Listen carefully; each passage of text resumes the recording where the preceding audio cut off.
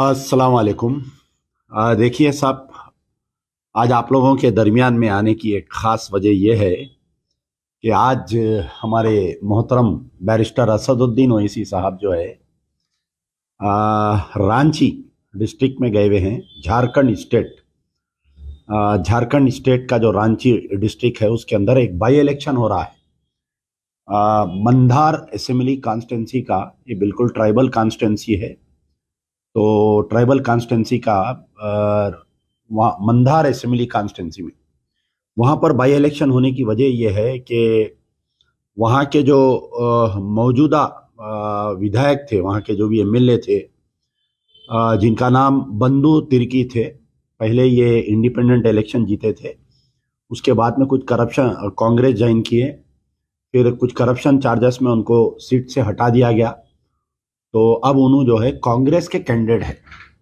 जैसा कि आप लोग जानते हैं कि झारखंड में जो है मौजूदा जो है जेएमएम, आरजेडी और कांग्रेस की सरकार है वहाँ पर।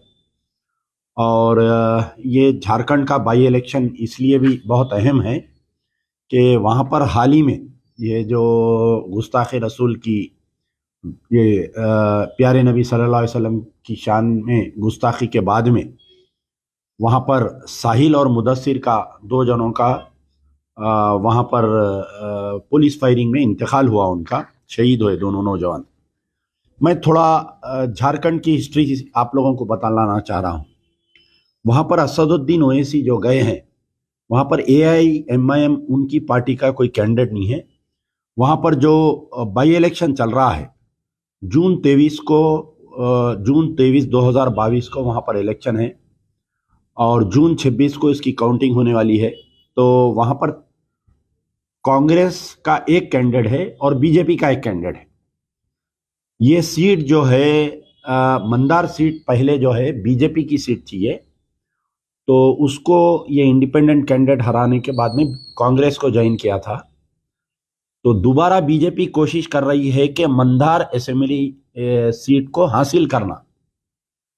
तो असदुद्दीन ओवैसी वहाँ पर गए हैं। पहले तो मैं ये बतलाऊँगे कि कांग्रेस के जो कैंडिडेट है वहाँ पर जो अनसीट किए गए M L MLA Bandhu Tirkey, उनकी बेटी शिल्पा नेहा तिर्की को टिकट दिया गया है। और बीजेपी से जो है, एक्स एमएलए जो पहले इलेक्शन हारे थे, गंगोत्री कुर्जियान एक्स एमएलए को बीजेपी का टिकट दिया गया है। कांग्रेस और बीजेपी का कांटे का मुकाबला है। वहाँ पर सिर्फ़ हज़ार दो हज़ार वोट का मुकाबला है। तो वहाँ पर एक बीजेपी का कैंडिडेट जो सबका में मिनिस्टर भी था देव कुमार दान तो वो इंडिपेंडेंट इलेक्शन लड़ा है। तो असदुद्दीन ओवैसी मंजलिस के कैंडिडेट की तायद में नहीं गए हैं, बल्कि बीजेपी के सबका मिनिस्टर बीजेपी के सबका एमएलए देव कुमार धान की ताइद में असदुद्दीन ओवैसी आज वहाँ पर मीटिंग करने गए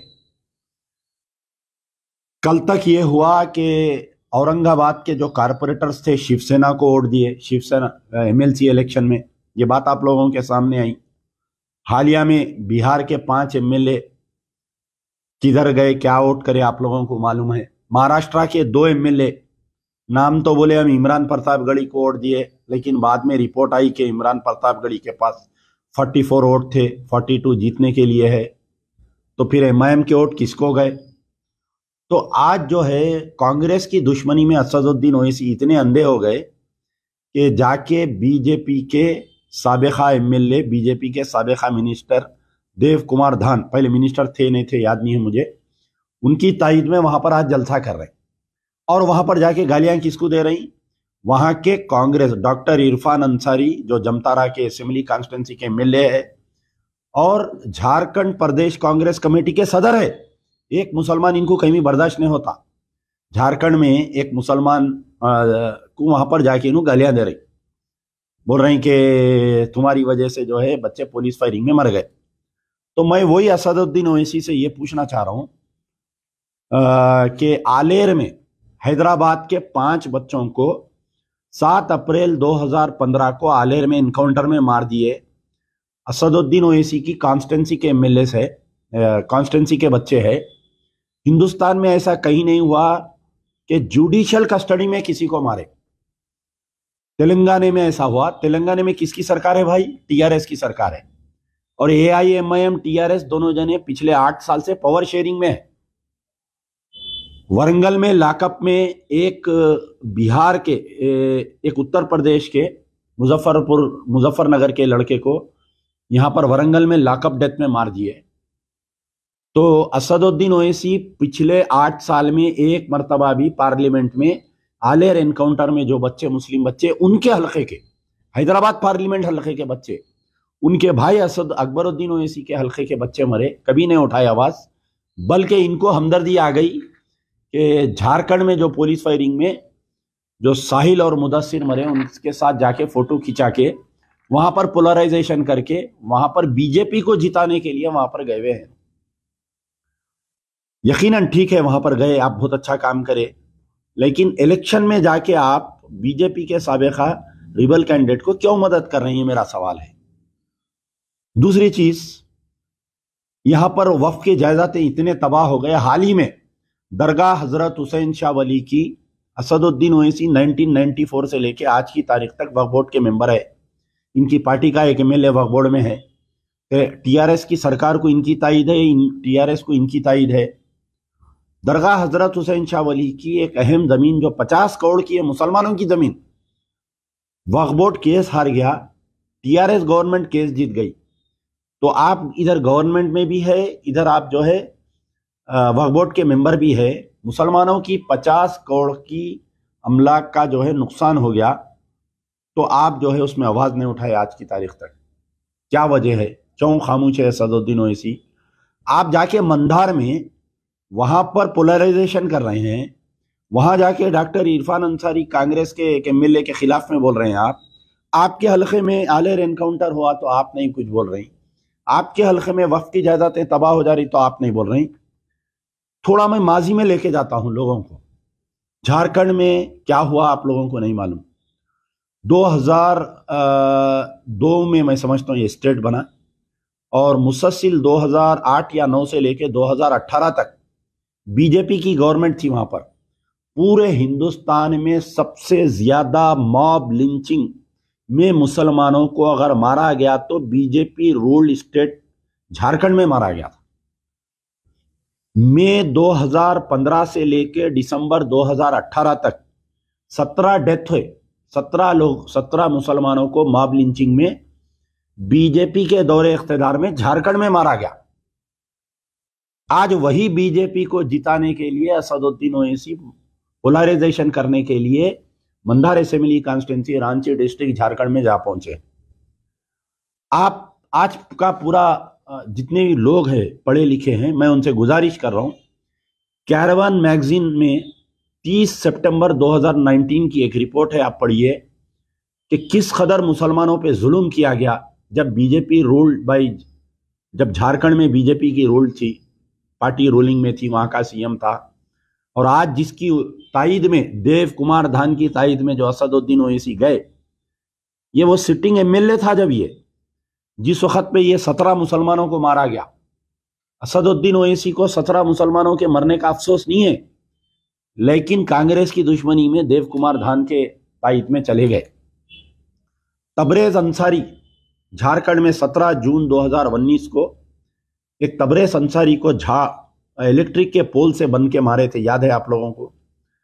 उसको इतना मारे थे कि चोरी के इल्ज़ाम में थेफ्ट केस में लेके जाके, फिर बाद में उसको जो है केस में बुक करके अदमरा तबरेज अंसारी को जेल को भेजे। चार दिन के बाद में उन्हें जेल में मर गया। और एक ही खानदान के ये चरवाहे थे, जिनके ऊपर जो है ये गायों की स्मगलिंग कर रहे बोल के शेख हलीम मोहम्मद साजिद, सिराज खान और नईम। 18 मई 2017 को एक ही खानदान के चार लोगों को मार दिए, एक खातन को जख्मी करे थे। ये भी झारखंड में बीजेपी रूलिंग स्टेट में हुआ। उस वक्त पे मैं समझता हूँ ये देव कुमार धन, आज जिसकी असदुद्दीन ओवैसी ताइद में गए। ये बीजेपी का एमएलए था। बीजेपी की गवर्नमेंट में सत्रह मुसलमानों को मारे, एक ही खानदान के चार चरवाहों को मारे वहाँ पर। तो आज असदुद्दीन ओवैसी यानी उसके बाद में और कई लोग हैं। जुमला सत्रह लोगों को, मैं बोल रहा हूँ कि तीस सितंबर 2019 की कैरवन मैगजीन का रिपोर्ट निकालिए। निकाल के पढ़े तो मालूम होगा कि किस कदर पाँच साल में मुसलमानों पे जुल्म हुआ। ठीक है, आपको कांग्रेस से दुश्मनी है, कांग्रेस बहुत खराब जमात है, आप जाइए वहाँ पर, लेकिन आप दूसरे स्टेट में जाके वहाँ की मुस्लिम क्यादत को कमज़ोर करने का क्या है आपको बताइए आप? क्या हक पहुँचता आपको बताइए आप? हैदराबाद में, हाल ही में यहाँ पर गुस्ताख रसूल के ऊपर लोग मुसलमान एहतजाज करे तो आपका जहाँ पर एमएलए है, नामपल्ली कॉन्स्टेंसी और कारवान कॉन्स्टेंसी के दरमियान में, जो महदीपट्टनम पे यहाँ की तेलंगाना की पुलिस, हैदराबाद की पुलिस लाठीचार्ज करके कई नौजवान बच्चों को जख्मी करे। आपके स्टेट में यहाँ पर कई वाकयात पेश आ रही। मक्का मस्जिद में बम धमाका हुआ, खातिल बाइज्जत बरी हो गए आज तक असदुद्दीन ओवैसी नहीं बोल रहे। यहाँ पर आ, आपके मैं समझता हूँ निर्मल के आगे कोई गाँव में जो है वहाँ पर ज़िंदा जला दिए वटोली में पाँच मुसलमानों को ज़िंदा जला दिए खातिल बाइज्जत बरी हो गए असदुद्दीन ओवैसी तुम्हारे मुँह को लखवा हो गया। तुम नहीं बोल रहे तुम जाके जो है तबरेज अंसारी की वो इरफान अंसारी के खिलाफ में एमएलए के खिलाफ में वहाँ पर बोल रहे साहिल और मुदस्सिर के नाम पे तुम वहाँ के मुसलमानों को भड़का रहे जाके। अरे तुम्हारे तेलंगाना में तुम्हारी कॉन्स्टेंसी में हो रहा ना जी, तुम यहाँ मुँह नहीं खोल रहे यहाँ पर। तुम झारखंड को गए, आज उत्तर प्रदेश में, आज उत्तर प्रदेश के मुसलमानों के दिल पे हाथ रखकर पूछो आप कि उत्तर प्रदेश में आज मुसलमानों पे योगी का जो जुल्म हो रहा, अगर मजलिस इतिहादुल मुस्लिमीन वहाँ पर नहीं लड़ती, सियासी जमात है, लड़ने का सबको इख्तियार है, हमारे कोई एतराज़ नहीं है। लेकिन जो हालिया रिज़ल्ट है, उसमें जो है पचास ऐसे सीट है जहाँ से समाजवादी पार्टी इलेक्शन हारी है जो हज़ार और पाँच सौ के उसमें है। फोर्टी एट सीट ऐसे है जहाँ पर मंजलिस का कैंडिडेट सौ, दो सौ, पाँच सौ, हज़ार वोट लेके समाजवादी पार्टी के विनिंग कैंडिडेट को हराए और बीजेपी के कैंडिडेट को वहाँ पर जिताए, जिसकी वजह से योगी सरकार बनी। अगर आज योगी मुसलमानों पे जुल्म कर रहा तो इसके राज जिम्मेदार असदुद्दीन ओवैसी है या नहीं है बताइए। असदुद्दीन ओवैसी झारखंड जो गए हैं, जो मंदार में गए हैं, वहाँ पर वोट पोलराइजेशन करके बीजेपी के कैंडिडेट को जिताने के लिए गए हैं। मैं तमाम मंदार के मुसलमानों से अपील करूँगा, क्योंकि वहाँ पर के हालात बहुत नाजुक है। जो मंदार कॉन्स्टेंसी है, वहाँ पर three lakh fifty four thousand vote है one lakh seventy five thousand वहाँ के ट्राइबल वोट है, सरना वोट है। Seventy four thousand Hindu vote है, सेवेंटी थाउज़ेंड मुस्लिम वोट है, क्रिश्चियन वोट तीस हज़ार है, यानी एक लाख वोट है। Minority vote. माइनॉरिटी वोट जो है, अगर वहाँ पर ये इंडिपेंडेंट कैंडिडेट जो सबका बीजेपी से जिसका ताल्लुक है, जिसको एम आई एम तायद कर रही अगर इन्हें एक पाँच हज़ार भी मुस्लिम वोट ले लिया तो वहाँ पर बीजेपी का जीतने के इम्कान है।